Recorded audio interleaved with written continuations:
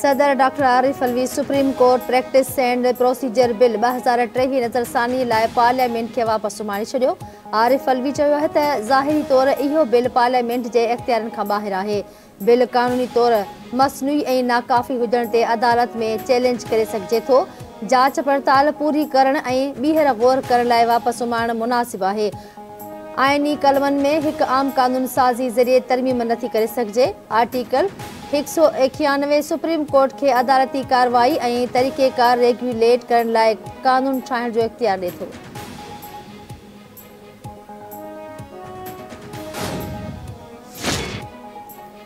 इस्लामाबाद की अदालत में तोशाखाना केस में जल्द ॿुधणी वारी दरख़्वास्त कार्रवाई दौरान इमरान खान पेश न थियो डिस्ट्रिक्ट एंड सेशन जज ज़फर इक़बाल तरीक़े इंसाफ़ जे चेयरमैन खे यारहं अप्रैल लाइ ॿीहर तलबीअ नोटिस जारी कर छॾियो पुलिस पारा नतई नोटिस अमल अमलची रिपोर्ट अदालत में जमा न कराई गई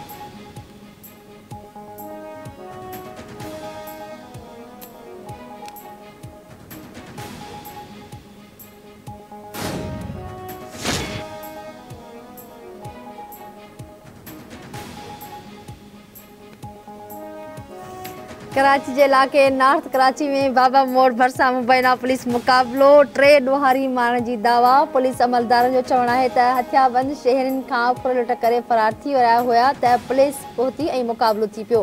माजी वियलनि जी अवेस राशिद जीशा के नाल नालनि थी आहे जांच कई पे वञे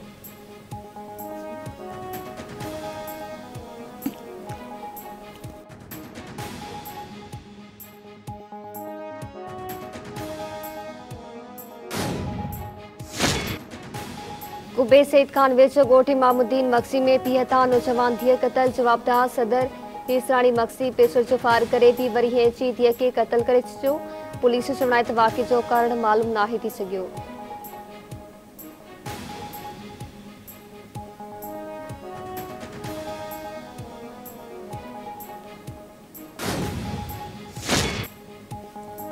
मातली वेझो खॾ मां नौजवान जो लाश हथ क़तल जो शक ज़ाहिर वारसनि जो चवणु आहे त नर्सिंग कोली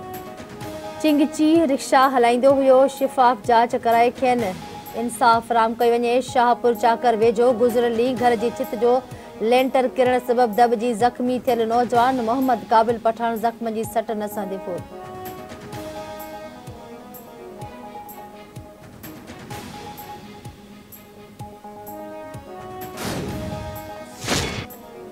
अड़वी കന്തക്കോഴ്സിലെ बासियाब न थे पुलिस शहीद S H O Abdul Abdul Rani Shah क़ातिल भी गिरफ़्तार करण में नाकाम कच्छ में धाड़ेलनि ख़िलाफ़ हलंदड़ ऑपरेशन भी आसी तौर बंद कयो पो ख़ैरपुर पुलिस ज़िले में अॻवा बिन ॿिनि के बासियाब बाज़ाब में नाकाम हिंगोशा वासी बाड़े जाफर